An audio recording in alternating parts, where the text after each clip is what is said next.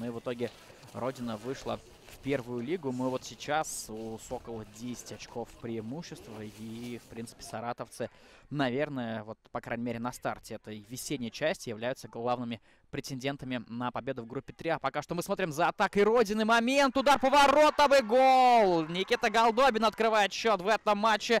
1-0 на 15 минуте счет становится, но все-таки Родина Родина дожала своего соперника. Вот мы отмечали подходы к чужим воротам, удары. Ну и впервые мяч во вратарскую попал. И Никита Голдобин своим моментом распорядился и еще раз подтвердил свой статус очень качественного игрока для второй лиги.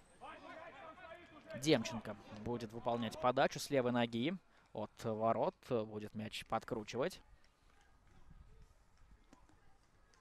Все все полевые футболисты Родины сейчас находятся в своей штрафной. Подача на дальнюю штангу, удар по воротам, добивание и гол. 1-1 счет становится. Не было ли там офсайда? Да похоже, что нет. Арбитр э, боковой отправляется в центр поля. И салют, салют. Э, празднует э, успех, празднует забитый мяч. Похоже, что Сергеев.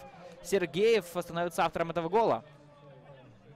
Виктор Сергеев, да, после удара защитника по-моему, Желомостных пробил. Шел вперед, двоих обыграл, вот третьего не сумел. И Мальцев э, мяч и штрафной вывел, но далее, далее пройти с ним не удалось. Навес на Бояркина. Бояркин за спиной у него мяч находится, не видит этого Бояркина. В другую сторону начал разворачиваться. Ну и этих долей секунд хватило обороне Родины 2, чтобы мяч вынести, но продолжает, продолжает салют атаковать. Передача в центр, штрафной удар по воротам и гол. 2-1, 2-1. Белгородский салют выходит вперед в этом матче и все-таки все-таки добились своего э, гранатово-черный. Все поздравляют Александра Канищева, который совсем недавно вышел на замену. Как раз-таки вот для того, чтобы помочь атаке в большинстве. Ну и помог, помог он очень здорово. Дудайте вошел в штрафную, в центр отдал на Канищева. У того было время и пространство принять и пробить